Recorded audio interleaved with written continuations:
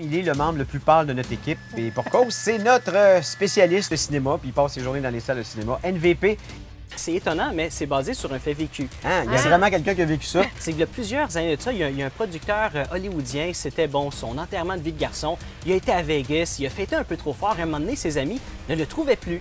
Et lui, il s'est réveillé comme le lendemain matin dans un bar de danseuses. Puis là, on vient le voir, puis on lui dit comme tu, dois une somme qui n'a pas d'allure, genre 20 000, 30 000 Et là, finalement, ces chums se sont dit, hey, il y a de quoi de bon à faire avec ça. Ils ont travaillé sur le scénario, puis ça leur a rapporté 2 millions. Et finalement, ça a été un, un espèce de succès surprise. Personne ne s'attendait à ça.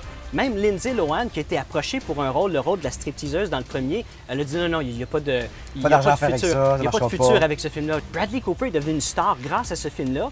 Et en 2011, quand le 2 est sorti, son salaire a passé de 600 000 à 5 millions. Wow. C'est pas du tout un film euh, canadien, c'est un big Non, film non, c'est un, c'est un film toute américain. la gomme, là. Oui, oui, tout à fait. Écoute, à 46 millions de budget, oui, c'est un film hollywoodien. Le film a remporté, euh, dans sa première fin de semaine, 21,4 millions de dollars, ce qui fait du film Prisoners le, le- le film qui a eu de- sa plus grosse fin de semaine de sortie, euh, qui est réalisé par un Québécois.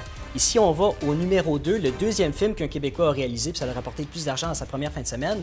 C'est étonnant, mais c'est le film My Bloody Valentine qui est, qui est paru en 2009. Le film a fait 21,2 millions, juste 200 000 de moins. J'aimerais ça m'adresser à tous les parents à la maison qui ont des Ouais. jeunes enfants et qui aimeraient que leurs enfants réussissent leur vie, deviennent des avocats, des médecins. Amenez vos jeunes enfants voir le film Evil Dead. Ils vont être traumatisés, ils vont avoir la chienne, mais ça va les empêcher de s'isoler dans une cabane pour prendre de la drogue ou même Ah, d'ouvrir le balcon pour euh, faire des rites sataniques. Il y a beaucoup de films qui sont tournés dans des bases américaines et le but de tout ça, c'est pas compliqué.